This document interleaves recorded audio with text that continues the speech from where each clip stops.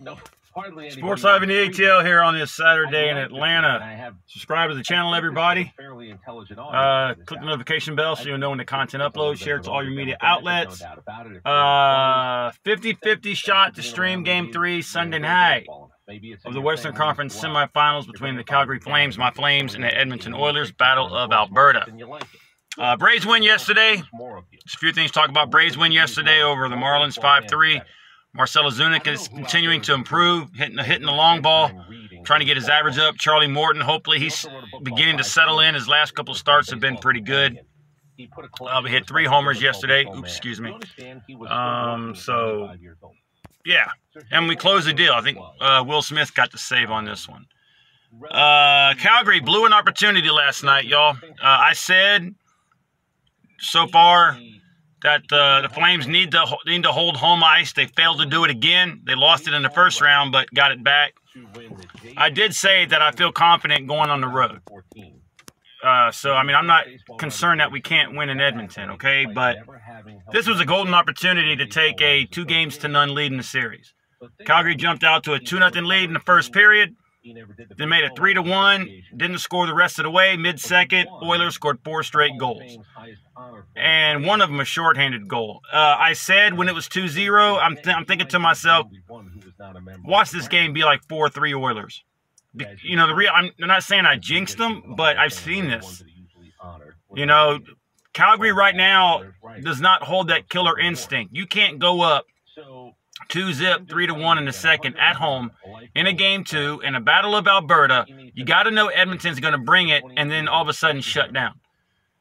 Uh, you were fortunate in the first game, leading uh, six to two, and then they tied it up, and then you managed to win. But very disappointing loss uh, by the Flames for sure.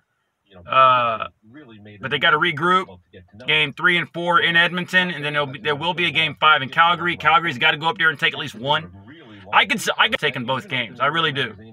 But I could also see Edmonton taking two, and I could see in a split.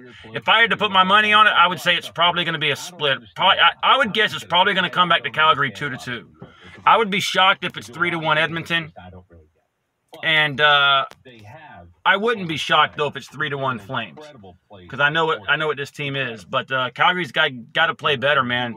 Defense has got to get better. Defense has got to get better. Uh, so it is what it is. But Toffoli scored a goal yesterday. Uh, Ritchie scored a goal, and uh, the first goal was by um, Michael Stone. We scored a couple goals in a couple minutes. Uh, like I like I said in the first game, sometimes scoring too early, you get kind of lax. You know, relax a little bit and not and not stay at it. But in the playoffs, you got to know what's going to happen. You got to you got to bring it. You got to be ready.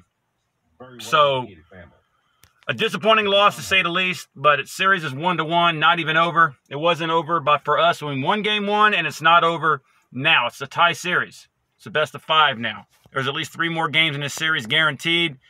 Uh, hopefully, Calgary can take at least two of them. Be nice to run the table, but like I said, I said Calgary in six, and I'm still going to stick to Calgary in six. But I'll tell you something. I mean, I know bravado is, is what sports is all about. You get really excited. Maybe it's me getting in my older age, but you got these young bucks. Every time Calgary scores or Braves score or Hawks score or Falcons score, they run their mouth. That's just not what I do anymore. I don't run my mouth because I wait till the game is over. Now I can get excited you know, but I'm just not going to go on and start typing stuff and rubbing it in because then ironically it tends to backfire. Then backfire on me. I didn't say anything last night. I think I said, I think I did a couple of retweets, but that's about it. I didn't comment and start talking smack. But uh, so the Calgary's lost yesterday. I blame on all the people on Twitter who were just running their mouths. Yeah, I do. I, I, I do believe in that kind of stuff. But anyways, hope everybody has a good Saturday. Hope your weekend is good. To be doing some things tonight. And then tomorrow, not sure about doing video. We'll see. Uh, waiting for the Colts Ryan jersey to get here. I wish it would hurry up and get here.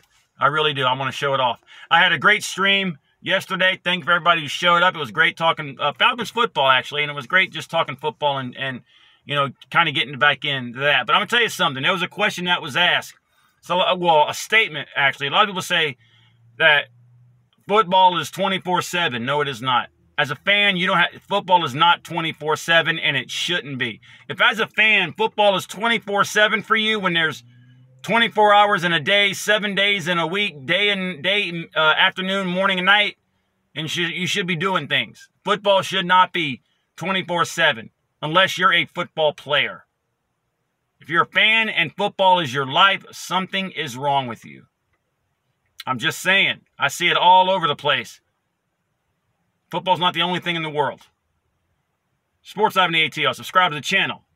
Braves tonight, Marlins game two. And I'll see you in the next one.